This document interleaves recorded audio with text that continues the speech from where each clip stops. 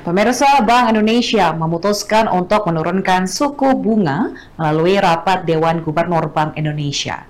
Keputusan ini memberikan dampak kepada berbagai sektor, mulai dari pertumbuhan kredit perbankan, sektor properti dan otomotif hingga ke pasar modal. Berikut reportase tim Galeri Investasi via UB mengenai dampak dari kebijakan penurunan suku bunga Bank Indonesia.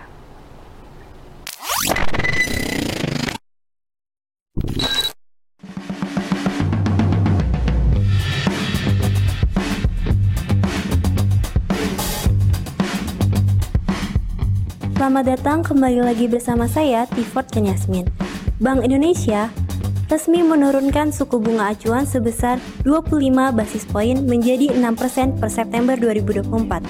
Langkah ini diambil untuk meningkatkan pertumbuhan ekonomi nasional di tengah ketidakstabilan global. Berikut laporan selengkapnya.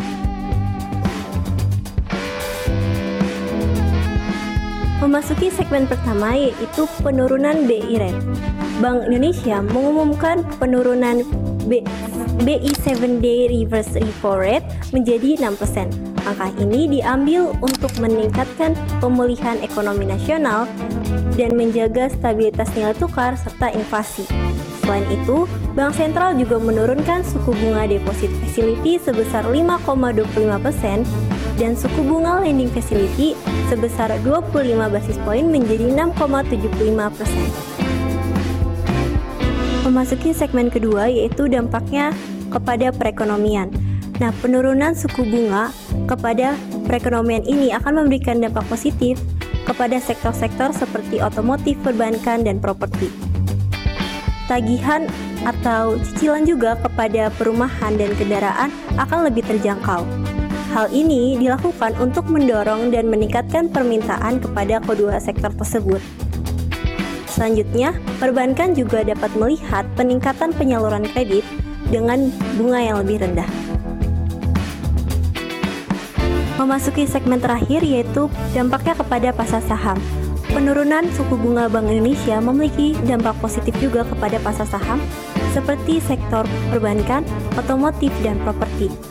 Hal ini sejalan dengan optimisme peningkatan daya beli masyarakat dan juga aliran investasi yang lebih kuat dengan kebijakan suku bunga yang lebih rendah.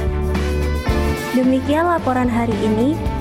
Penurunan suku bunga Bank Indonesia diharapkan dapat meningkatkan pertumbuhan ekonomi nasional di tengah ketidakstabilan global.